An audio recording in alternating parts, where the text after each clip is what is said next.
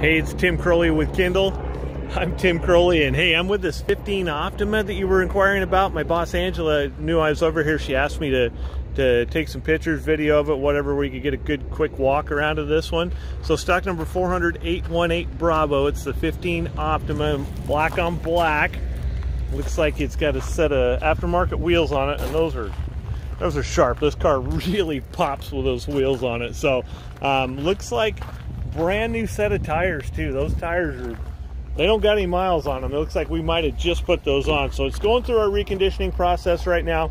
Looks like it's already been, already passed the safety inspection. Now we just got to get it into detail. So these people were smart. They actually had seat covers over their, their seat. So there's the under, underneath seat. As you can see, the full, the, uh, the seat cover's kind of been worn through, but the seat itself hasn't. So, um, Car's got uh, cloth interior, um, super nice shape. This is uh, this is a nice looking Optima right here. Got the looks like this the wheel lock in the middle, so it's got locking lug nuts on it there for you, and it is.